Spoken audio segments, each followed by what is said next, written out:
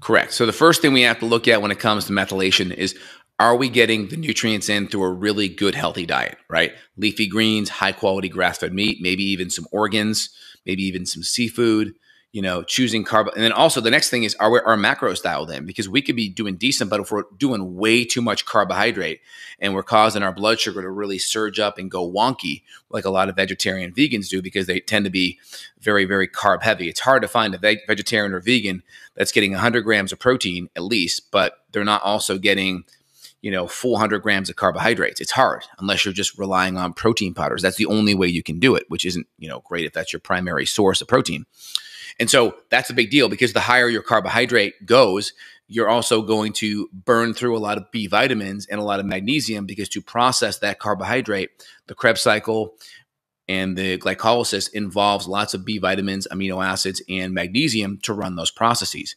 And then also, a lot of times, if we're eating a lot of vegetarian, vegan things, there's a lot of anti nutrients in those food. And so there may be lots of B vitamins in your so called whole wheat but once you factor in the lectins and the phytates and the oxalates and all these anti-nutrients, you may not be able to access a lot of those vitamins too. And so you may on paper see that, that they're there, but they're really not getting into your body.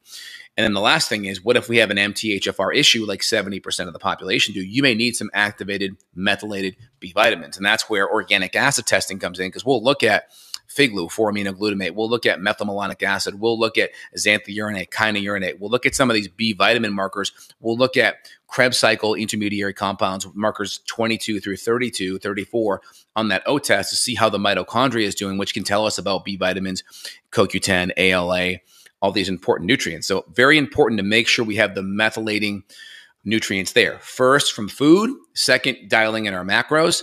And then third, we may have to supplement on top of that. Even healthy people need, need to have it. And also, if we're having extra toxins from mold or heavy metals, well, now our methyl group needs even higher. We need even more methylation more sulfur amino acids. And that really increases the demand. That's where supplements become even more necessary.